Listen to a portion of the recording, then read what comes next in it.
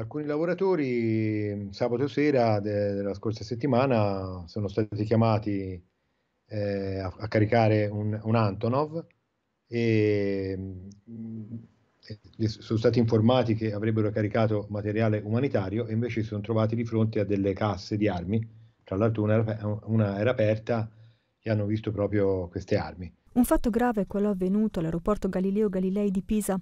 I lavoratori dello scalo toscano, dopo la scoperta della presenza di armi di vario tipo, munizioni ed esplosivi nascoste tra i rifornimenti umanitari, si sono rifiutati di caricare il cargo. L'aeroporto Galileo Galilei è sotto il comando dell'aeroporto Dall'Oro, che è il più grande hub eh, aeroportuale eh, a disposizione della Nato ormai da più di dieci anni. Dal primo marzo sono partiti voli eh, dall'aeroporto militare per trasportare armi in Polonia. Evidentemente non, non sono sufficienti i voli che partono dal, dall'aeroporto militare. L'aeroporto civile è sotto il comando dell'aeroporto militare, perché le antenne, insomma, perché tutto il sistema di controllo è militare.